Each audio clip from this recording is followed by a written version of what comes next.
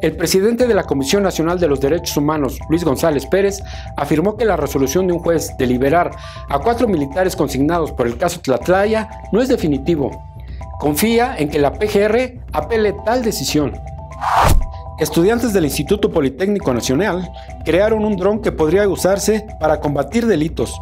Lo novedoso es que puede volar hasta 30 minutos sin descender, alcanzar una altura de 200 metros y una radio de operaciones de 3 kilómetros. La presidenta de la Comisión de Comunicaciones, Ivonne Ortega, presentó una iniciativa que busca crear un sistema de evaluación e información de la Cámara de Diputados.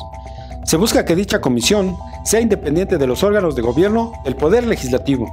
Gracias por su atención. Nos vemos mañana en Vértigo de la Tarde.